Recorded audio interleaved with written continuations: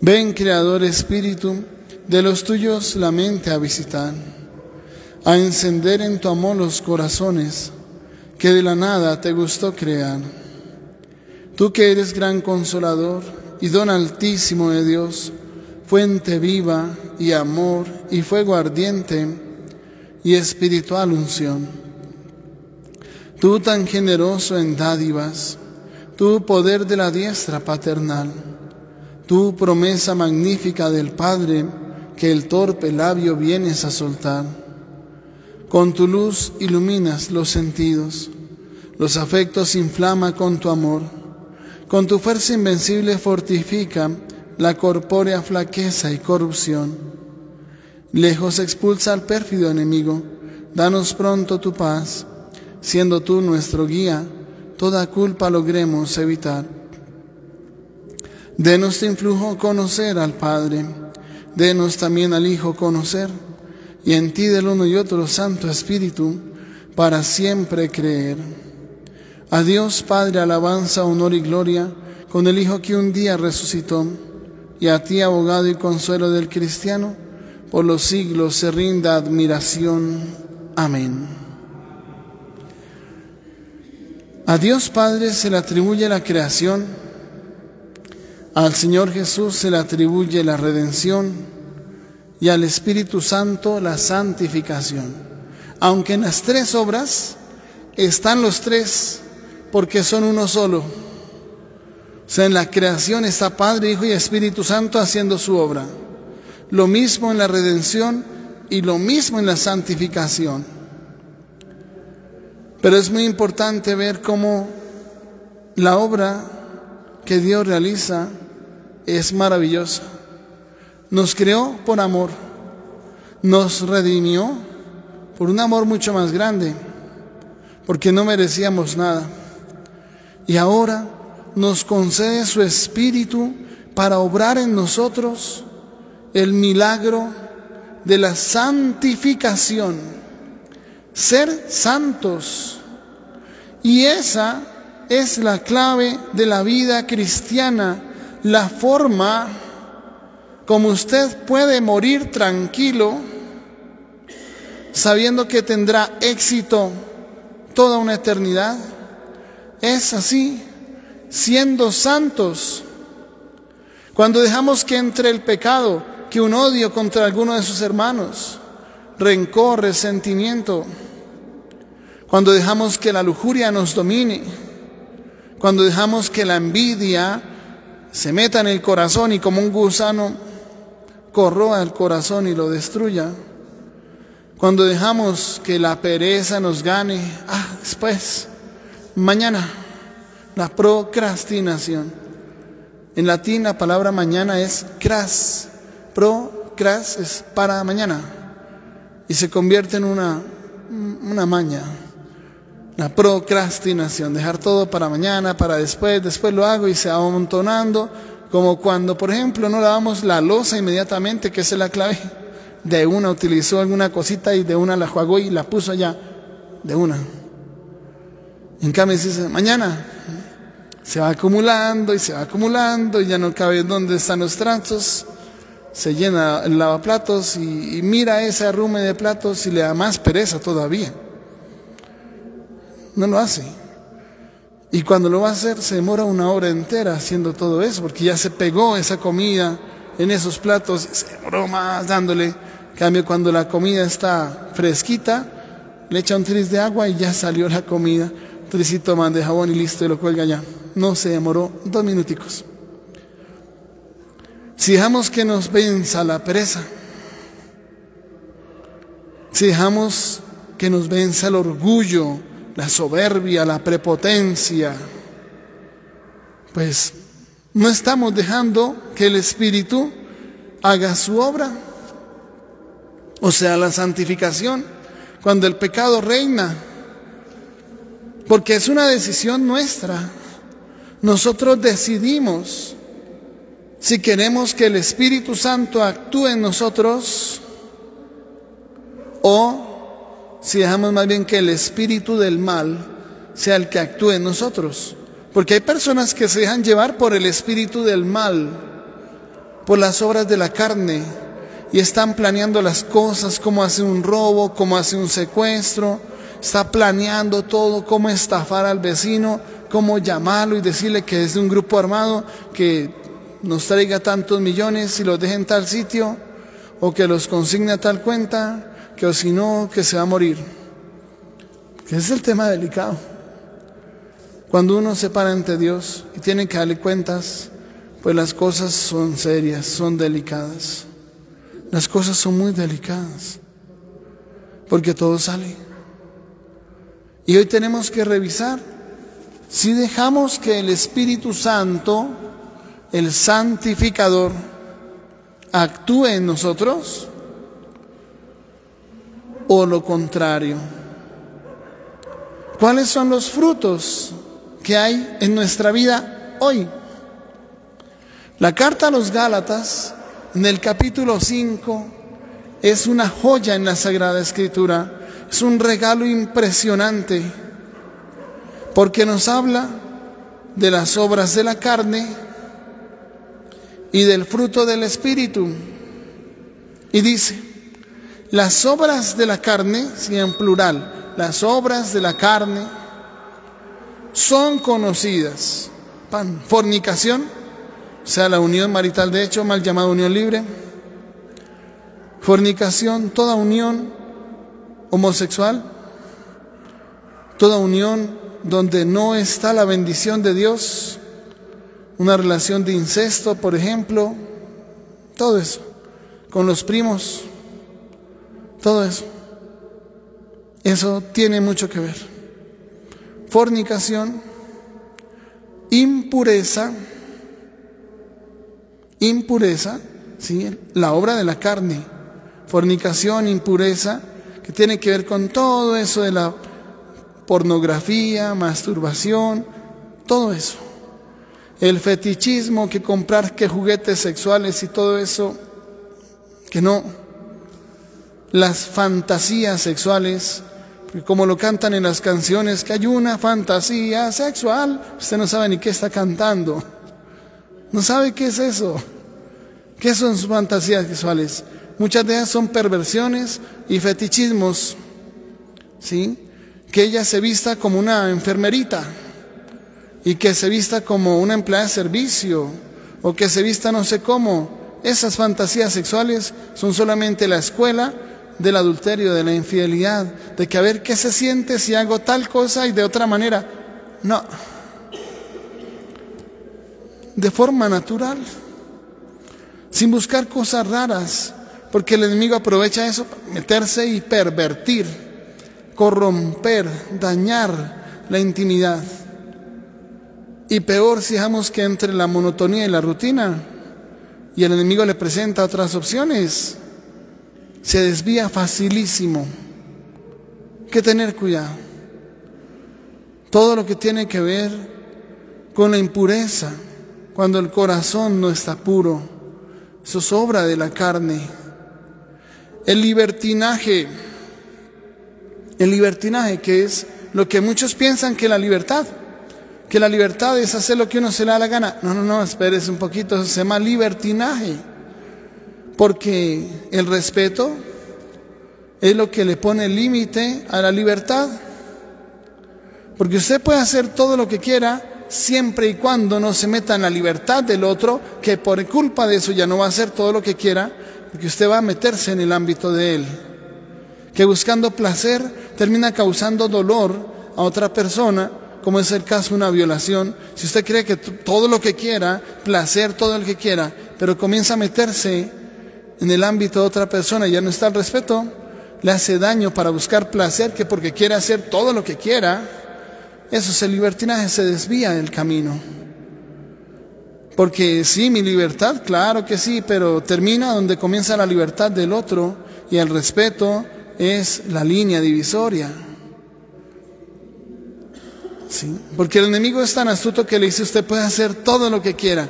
Sí, cómo no.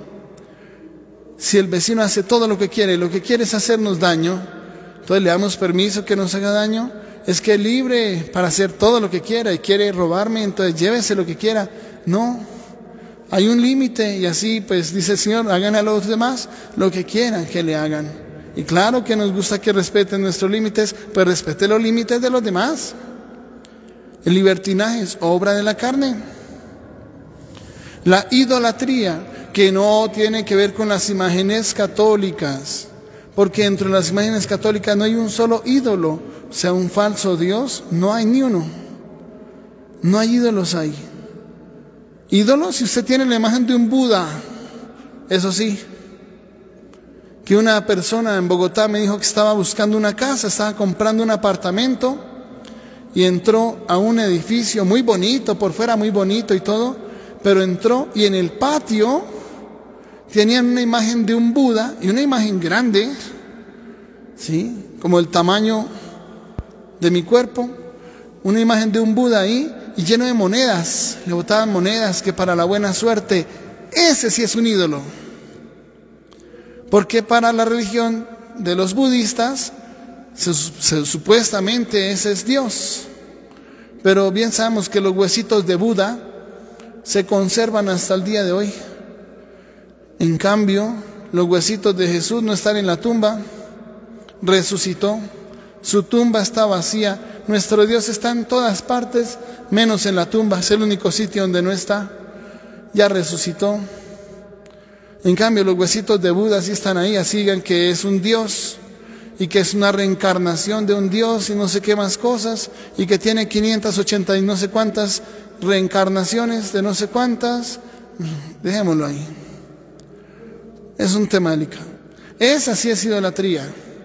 O si usted tiene un papiro de Egipto, donde hay un personaje con cuerpo de hombre, pero con la cabeza de un lobo, o con la cabeza de un águila, o con la cabeza de un cocodrilo, o de un gato, o la famosa efigie que está junto a las tres grandes pirámides, la cabeza de un león agachado, agazapado, y la cabeza del faraón, el cuerpo del león y la cabeza del faraón.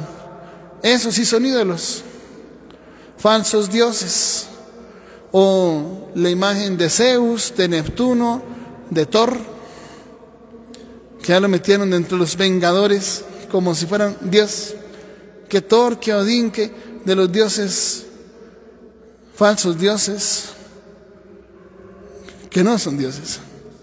Esa sí es idolatría, es así, falsos dioses. Recuerdo que una niña, una niña pequeñita de unos 10 años, le gustaba mucho leer todo eso que tenía que ver con Zeus y con Neptuno y con Ares y no sé qué más. Y entonces cuando yo hablé con ella y yo le dije, no, eso no está bien, hay que creer en eso. Y yo le alcancé a preguntar, ¿para usted quién es? ¿Quién es Zeus?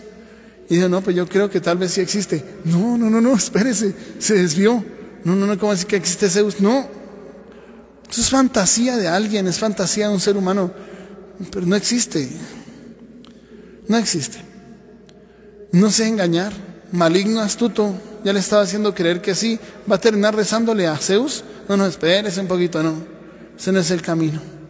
Esa ha idolatría. Y sobre todo, la idolatría del dinero. Que aquí sí nos metemos en un tema muy delicado. Cuando usted por amor al dinero hace cosas prohibidas por Dios, ese es su ídolo. Renunció a los mandamientos de Dios, renunció a Dios porque ya no comulga, porque está en pecado, porque ahora roba, porque quiere tener dinero. El falso Dios, dinero. Ahí está la idolatría. Esa sí es la idolatría. Dios del dinero. Un falso Dios. Porque le hace creer que con eso usted compra lo que quiere, consigue lo que quiere, compra hasta las conciencias. No, no, eso es un falso Dios. No es un Dios, es una cosa creada, es el dinero que hoy está y mañana ya se acabó. Tumbaron las torres gemelas y todos los que tenían acciones en la bolsa, ¡pum! se desplomó todo y se fue como el agua entre los dedos. Y al ver que perdían 500, 600 millones, se botaban por los edificios, desesperados de que habían perdido todo en un segundito, porque la bolsa, ¡pum! al piso, Y eso es una cosa que depende de muchos factores, que la guerra en Ucrania inmediatamente se disparan algunos factores y bajan otros, se vuelve un problema. No hay nada más inestable, no hay nada más efímero que el dinero. Y en épocas de crisis pues pasa eso. En Venezuela, mis abuelos estaban allá cuando, ya hace un buen tiempo, cuando llegaron y, decían que el bolívar estaba costando 17 pesos en esa época y costaba ya 17.5, 17.8 y decían mañana amanecen 18 y no al día siguiente el mismo bolívar que hoy pesaba que hoy medía que hoy valía 17 pesos al día siguiente costó 2 2 pesos 2 pesos y hubo gente que tenía 80 millones, más aún había gente que vendía sus tierras aquí en Colombia y se iba a Venezuela a comprar bolívares. Y un señor que tenía 80 millones de pesos en bolívares, cuando al día siguiente lo que costaba 17 ahora cuesta 2, fue a mirar le quedaban, cuánto le daban por lo que le quedaba y le daban 2 millones de pesos nomás, los otros 78 se perdieron. O sea, el dinero es una cosa efímera nos la roban, la perdemos. Es un tema complejo. No podemos poner nuestra fe en el dinero. Eso es idolatría. Dice también hechicería. Claro que sí, todo eso existe. Y en internet va a encontrar miles de tutoriales. ¿Cómo hacer para que el esposo no se vaya? Que le da una gota de menstruación. Imagínense esas cosas que pide ahí que una gota de menstruación en el tinto bien revueltico para que no se vaya su esposo, no sé qué más cosas. No. Esas son pactos con el maligno, donde usted le pide al maligno que su esposo no se vaya a cambio de su alma. Vende su alma a cambio de eso. Eso no es por la gota de sangre que le echó ahí, y por cierto, sangre de menstruación. No, es que no es por eso. Esas son obras del maligno que a través de esas cosas compromete su alma, su alma, a cambio de ese favorcito. Y el día en que usted se muere, el maligno está parado ahí al lado diciendo, venga para acá, usted es mía, usted me pertenece, acuérdese que yo le hice el favorcito que su esposo no se le fuera. Eso es un tema delicado. Todo lo que tiene que ver con la brujería, hechicería, la adivinación, el horóscopo, el horóscopo, la astrología, que los astros dicen que mañana no sé qué cosas, olvídese. Eso es del mal, son obras de la carne, es el espíritu del mal el que está detrás de todo eso. Si usted cuelga la mata de sábila detrás de la puerta o no sé dónde por allá, que para que tenga éxito, eso es brujería, eso es hechicería, renuncia a eso. Una mata de sábila, ¿quién le va a proteger? El problema es cuando usted pone la fe ahí. Ese es un problema. Porque apenas pone su fe en eso, se desvió del camino, ya no puso su fe en Dios. ¿Cree que quien le va a proteger es una mata de sábila? No, más bien el que creó la mata de sábila, él sí la va a proteger. No la mata de sábila. Pero si usted pone su fe ahí, eso se llama hechicería, se llama brujería. No es bueno. Que renunciar de corazón. Porque cuando pone su fe en algo distinto de Dios, eso es hechicería, eso es brujería. Que usted encuentre una piedrita por allá bonita, redondita o como sea, o blanquita, y dice, ah, mire esa piedra tan bonita, esta es la piedra de la buena suerte, y la echa al bolsillo y la lleva para todo lado. Ahí está poniendo su fe en esa piedra, ya no en Dios. Y está convirtiendo eso en una especie de ídolo, un sucedáneo de Dios. No, eso no es no es de Dios. Hay que tener cuidado, el maligno es muy astuto definitivamente. Dice, enemistades, piense con quién está enemistado. Piense con quién está enemistado. ¿Quién le saca la chispa? Esas son obras de la carne, no del espíritu. Es el espíritu del mal que está ahí. ¿Quién más lo quiere lleno de odio? ¿Es el maligno? ¿Quién más lo quiere lleno de odio? Dios no. Dios es amor, tiene que tomar una decisión. Dios es amor, Dios es el amor. Si ama, Dios está en su corazón. Y el odio es el maligno. Si hoy permite que el odio entre en su corazón, el maligno está en su corazón. Claro, con razón ya no comulga, la casa está ocupada. es el maligno que se hace presente a través del odio, porque Dios es amor, el maligno es el odio. Decida, ¿a quién quiere llevar? Porque es que no solamente que somos templos vacíos cuando no comulgamos, no. Si usted no comulga porque hay un pecado reinando en su corazón, ya está ocupado ese corazón y ya ese templo está lleno de cosas malas. El maligno está ahí presente, el, el padre de la oscuridad. Y cuando usted tiene odio en su corazón, ese me las va a pagar. Es el maligno el que está ahí en su, en su corazón. Él es, él es el odio. El maligno es el odio. Decida quiere dejar entrar al maligno en su corazón, simplemente basta con odiar a alguien, el que sea, el que sea. Y ya el maligno entró, ya vive dentro, lo lleva para todas partes, inspira sus pensamientos, se le cierra el puño, le hierve la sangre, es el maligno ahí presente, feliz, feliz. Y es un tema muy delicado. Porque es que el gran problema de rechazar la salvación es que uno entra en el camino de la condenación. El problema de rechazar la luz es que ya está en la oscuridad. Y el problema de rechazar a Dios presente en la Santísima Eucaristía es que el maligno encontró una puerta abierta para entrar en su vida.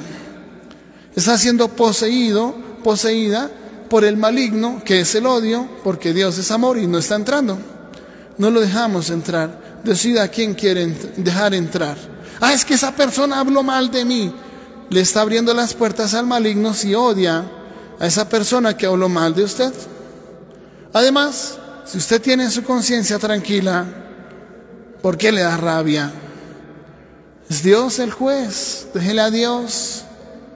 Dios sacará a la luz lo que está en lo más oculto del corazón. Dios pondrá todo en evidencia un día.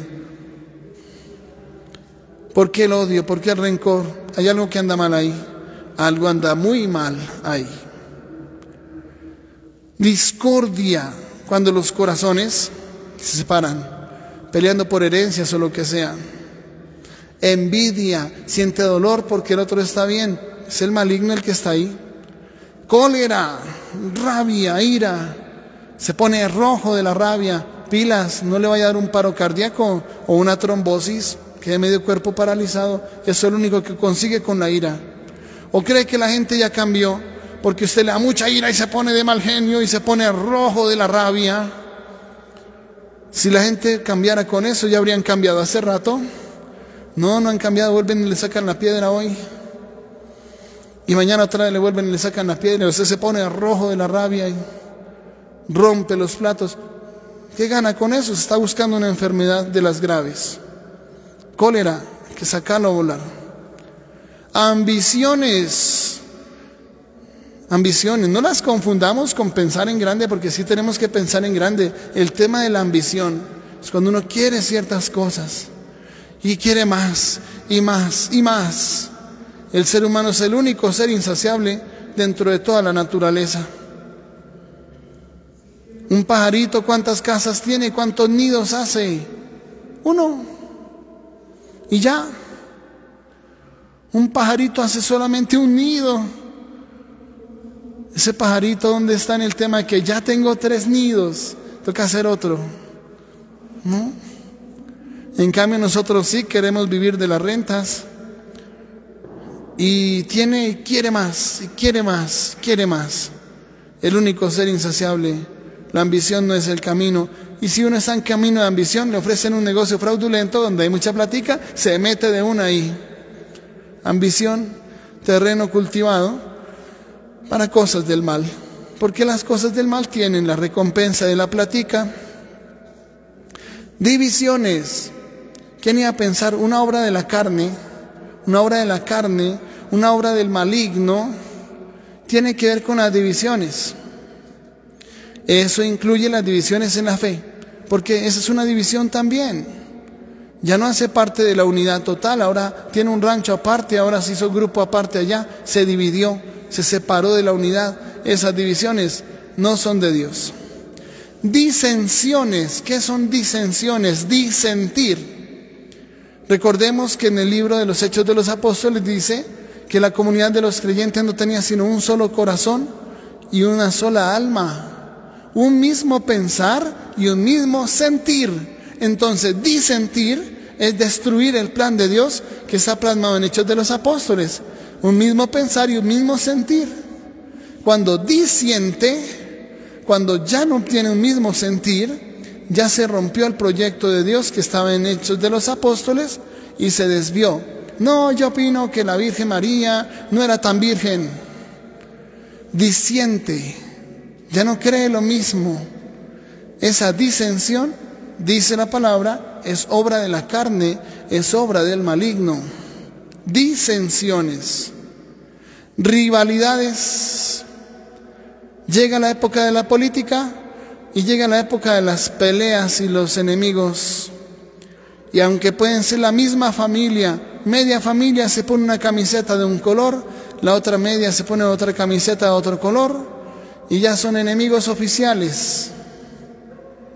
Pasó la política y todavía están peleando, todavía están de mal genio, no se pueden ver. Eso es obra de la carne, es obra del maligno. Rivalidades, borracheras, Ah, qué cosa tan complicada. La borrachera está prohibida por Dios, es una obra de la carne, es obra del maligno, no es el camino de la salvación. Pilas.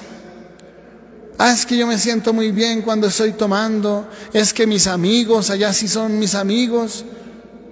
Los amigos saben dónde se conocen, dónde están, en dónde los encuentran los verdaderos, en el hospital, junto a su cama o en la cárcel, si por alguna circunstancia está en la cárcel. El que fue a verlo allá a la cárcel, el que lo visita y no es que nunca volvió por allá, ese sí es un verdadero amigo. Eso es de borrachera, olvídese. El hijo pródigo cuando tenía mucha platica, bastante, porque era una fortuna. ¿Sí? Como que a usted le dieran hoy mil millones, mil quinientos millones. Cuando él tenía platica, estaba lleno de amigos, lleno de amigos y de muchachas que le decían te amo, te quiero y le daban besitos. Y cuando acabó toda la plata que tenía, aguantó hambre. Dígame, ¿dónde están esos famosos amigos que le echaban la mano en el hombro y le decían, vamos a tomar? Es que usted sí es mi mejor amigo. ¿Qué pasó cuando ya no tiene plata? ¿Qué pasó? ¿Dónde están esos amigos? ¿Por qué aguantó hambre?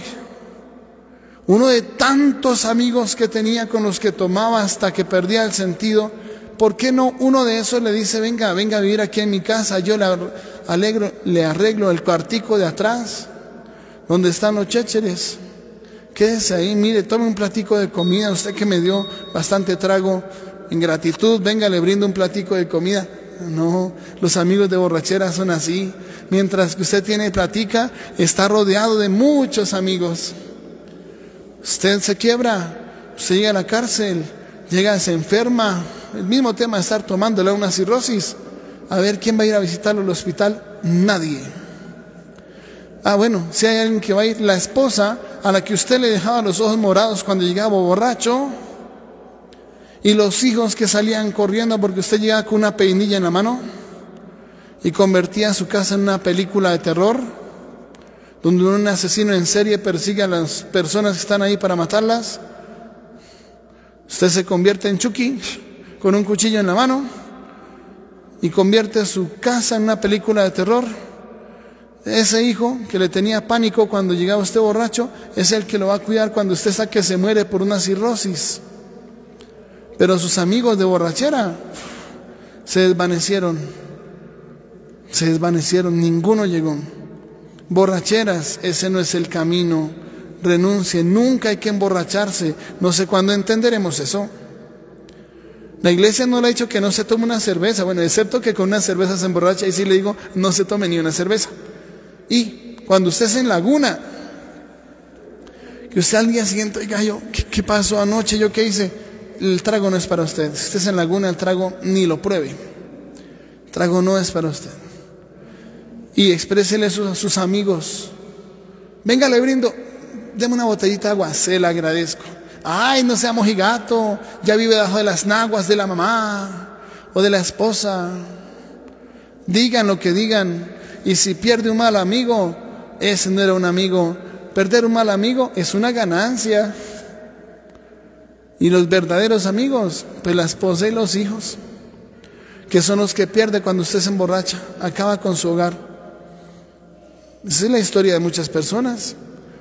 Yo he conocido muchos casos de muchos estilos de vida y muchos casos por la Santa Confesión. Y eso es una cosa que se repite mucho. Borracheras, eso sobra de la carne, es sobre el maligno, renuncie. Nunca se emborrache, nunca. Nunca se emborrache. Yo le aconsejaría que no se tome ni un trago, pero si acaso, si puede realmente tomar sin emborracharse, pues bueno, es distinto. Pero ustedes saben en qué momento tiene que irse para su casita. No se emborrache nunca, nunca, bajo ninguna circunstancia. No que es que es mi cumpleaños. No, no, no, menos. No arruine su cumpleaños después cometiendo un error grave, porque en el trago se comete errores graves y ni siquiera se acuerda. Es así, usted no tiene el control de su vida, y menos si comienza a manejar. Se comienza a manejar borracho, en menos de nada se quedó dormido y atropelló a tres señoras. Acabó con la vida de su mamá, de un primo y dejó en silla de ruedas a su esposa. Eso hace el trago y cosas peores.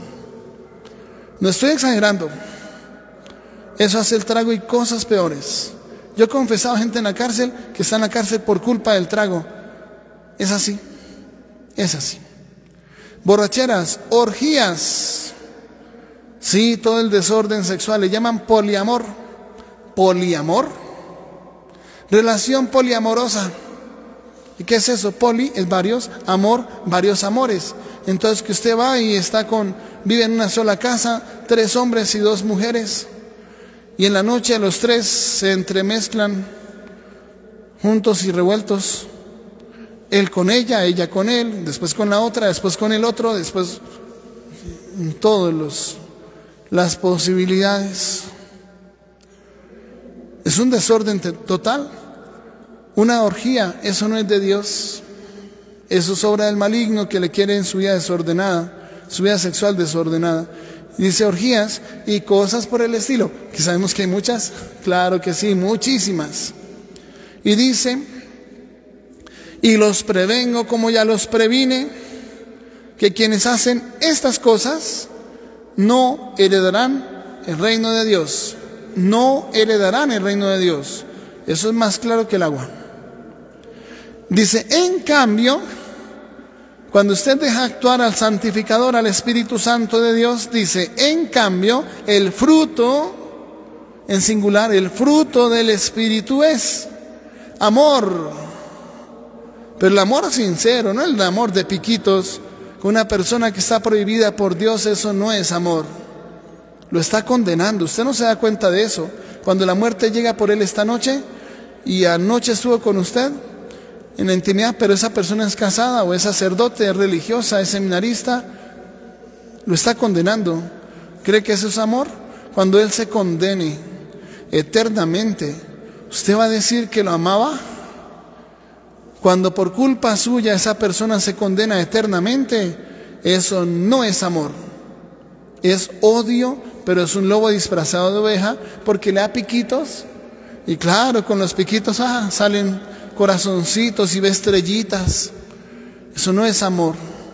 El amor verdadero trabaja por la salvación del otro, no lo pone en riesgo. ¿Quién tiene comprada la vida?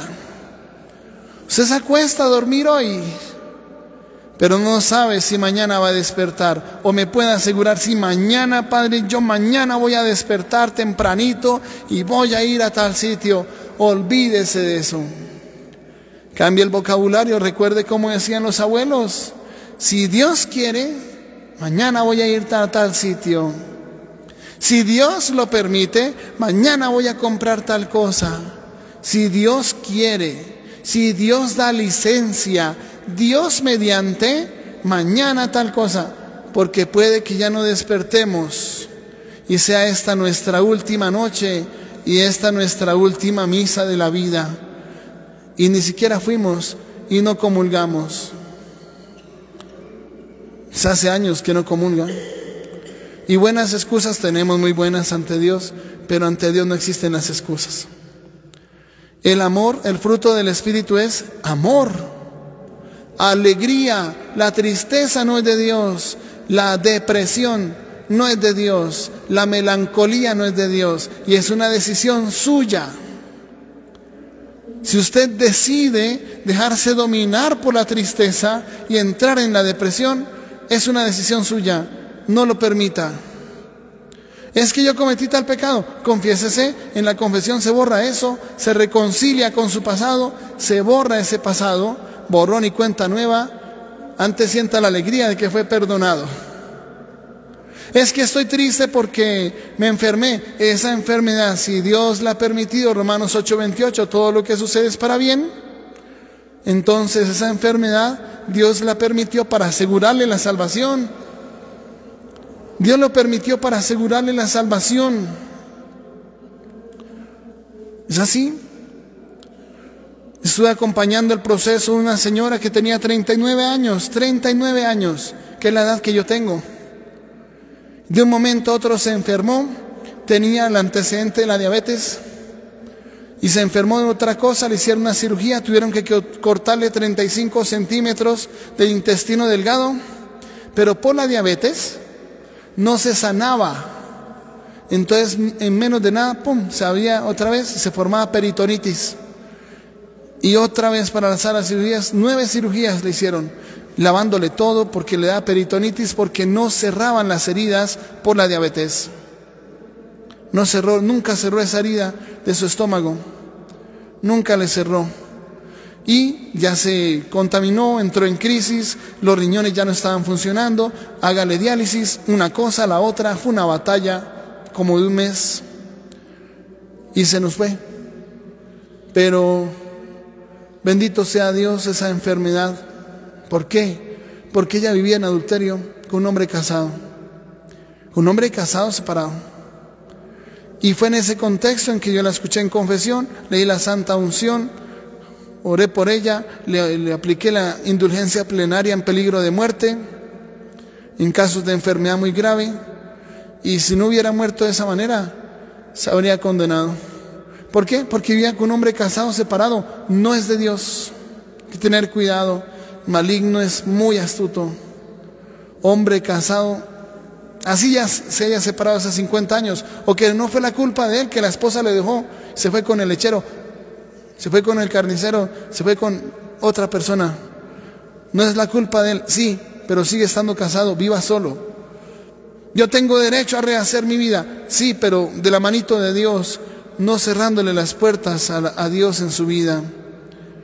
Y ella, Dios permitió que muriera en ese contexto, en esas cirugías y todo lo que ella vivió, pero por lo menos se fue con la unción de los enfermos y la absolución, aunque habría sido mucho mejor si hubiera muerto en gracia de Dios, en un nivel de santidad más alto. Su purgatorio hoy no sería tan largo, porque mil años son un día de aquí.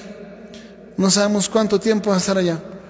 Puede ser muy largo su purgatorio, porque toca reparar el mal ejemplo que le dio a su, a su hijo, tenía un hijo, el mal ejemplo que le dio a todos sus vecinos, hermanos, primos, ese mal ejemplo estaba ahí. Es un tema delicado. Por eso no hay nada como hacer las cosas bien y tener la conciencia en paz. Aunque duela el alma y tenga que rechazar a una persona que Dios le dice que no le conviene, por ejemplo, persona del mismo sexo, o persona casada separada, o que usted es sacerdote, renuncie. No es de Dios. Ahora dice también, el Espíritu, el fruto del Espíritu es amor, alegría, la verdadera alegría, aún en medio de la enfermedad. Paz, que es un don de Dios, no es la ausencia de guerra, no es que no escuchemos bombas, estamos en paz, no, eso comienza con la paz de la conciencia. Paciencia, es la ciencia de la paz, que nada le robe la paz, que no se ponga de mal genio, eso significa la paciencia, que no se ponga de mal genio esa es la paciencia, ¿qué otra cosa es? Afabilidad. Es distinta de la amabilidad. Una persona amable. No, afabilidad es que despierta confianza en los demás. Genera confianza. Bondad, ser muy bueno. porque hay gente que ha tomado la decisión de ser mala. Eso es cierto. Lealtad, lealtad. Que usted es fiel hasta el final. Que su esposo ahora está en silla de ruedas. Que su esposo ahora está en silla de ruedas. Y usted sigue ahí al pie. Lealtad, lealtad. Lealtad. No que ya se fue con el primero que pasó y dejó al otro ya engrampado en la silla de ruedas. No, no. Cuenta conmigo por amor. Eso es el matrimonio. Lealtad. Modestia. La humildad, la sencillez, cero soberbia, cero prepotencia, cero orgullo, modestia, vestir humildemente, sencillamente. Usted se pone una cadena de oro y se pone en riesgo que le quiten la vida por quitar esa cadena de oro. ¿Es así?